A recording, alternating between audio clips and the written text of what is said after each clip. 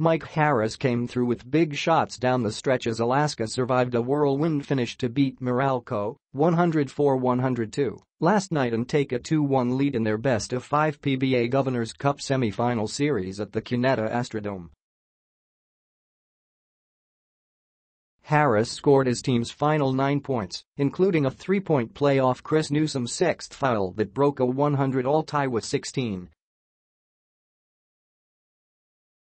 One seconds remaining to put the Aces on the cusp of advancing to the finals after a two-year drought.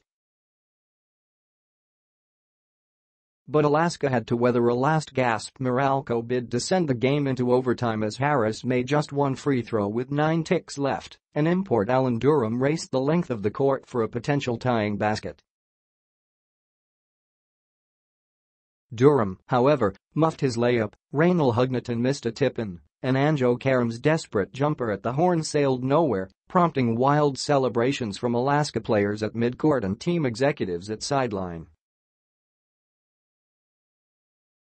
I don't know what the TV ratings are but I hope a lot of people watched, because that's an excellent game played by both teams, said Alaska coach Alex Compton, who was glad to be on the winning side of the most thrilling game of the series. That's a game nobody deserves to lose, added Compton. Alaska tries to close it out tomorrow night at the same venue and advance to the championship series for the first time since losing to rain or shine in the 2016 Commissioner's Cup. Harris, who Compton tried to woo for eight years, finished with 31 points, 24 rebounds and 7 assists as he saved the Aces from the jaws of defeat after engaging the Bolts in an exchange of leads in the final two minutes. His putback pushed Alaska ahead 97-95, but Reynel Hugnatan connected on a three to give Meralco its final lead at 98-97. Harris countered by scoring off Durham's first foul for 198 only for the latter to respond inside and tie it up, 100 all, 41 seconds remaining.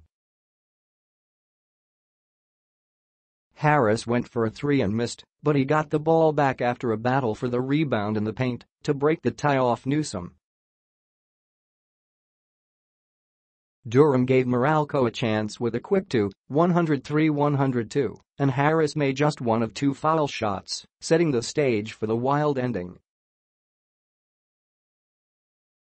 Simon and Enciso and Chris Banchero scored 17 points each while Nanoy Baclao added 11 points for the Aces.